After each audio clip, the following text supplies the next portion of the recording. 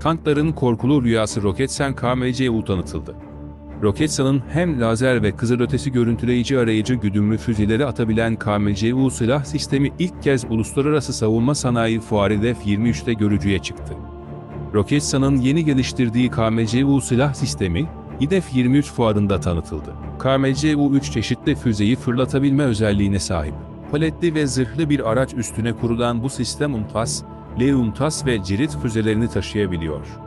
Roketsan'ın hassas güdümlü füzeler sınıfında geliştirdiği cirit lazer güdümlü füze, UNTAS uzun menzilli tank savar füze sistemi ve L-UNTAS lazer güdümlü uzun menzilli tank savar füze sistemini atabilen KMC-Bu, üzerinde bulunan 7.62 mm makineli tüfekle de yakın koruma sağlayabiliyor.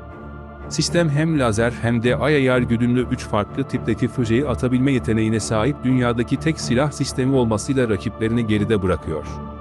KMC bu yüksek atış gücü, hassas vuruş kabiliyeti ile hem ana muharebe tankları, hafif zırhlı araçlar gibi zırhlı hem de personel gibi zırhsız fırsat hedeflerine karşı kullanılabiliyor. Farklı hava ve ortam koşullarına uyumlu ve gece gündüz keşif, gözetleme kabiliyetine sahip olan KMC bu, hem durarak hem hareket halinde atış yapılabilmesi gibi özellikleriyle kullanıcının birçok harp sahasında etkin kullanımına imkan tanıyor. Temelleri 2014 yılında Roketsan öz kaynakları ile atılan KMCU silah sistemi, sunduğu hassas vuruş kabiliyeti, çevikliği ve operasyonel yetenekleriyle çok kısa sürede son kullanıcının dikkatini çekti.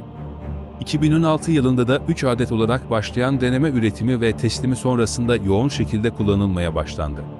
KMCU'nun gösterdiği başarı Türk Silahlı Kuvvetleri'nin takdirini kazanırken 15 Ağustos 2022'de KMCU silah sisteminin seri üretimi için Cumhurbaşkanlığı Savunma Sanayi Başkanlığı ile seri üretim sözleşmesi imzalandı.